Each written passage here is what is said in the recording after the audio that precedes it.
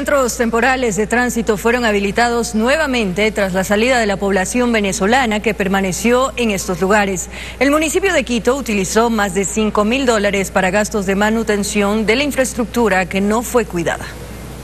Fueron 194 ciudadanos venezolanos quienes ingresaron a los seis de los ocho centros temporales de tránsito desde el pasado 11 de agosto. Pese a que la disposición fue que podían permanecer máximo cinco días en el lugar, su estadía fue de tres meses. Las autoridades mencionaron que esta extensión de tiempo se dio debido a la situación de vulnerabilidad por la que atravesaron. Absolutamente flexibles a una necesidad de ciudadanos que ustedes saben las condiciones por las que salen de su país. Desde entonces iniciaron los trabajos de refacción de la infraestructura Puertas, paredes, cocinas y las camas debieron ser arregladas. Hemos tenido complicaciones, eh, es decir, hemos tenido que recuperar el CTT. Ahora la tarea se centrará en la recuperación del espacio público, pues un aproximado de 50 personas de nacionalidad venezolana continúan viviendo en carpas cerca del intercambiador de Carcelén. Pues ya hacer la hoja de ruta de esta intervención guiada Además investiga la presunción de hechos delictivos en esta zona del norte de Quito. Si que uh, se demuestra que eso,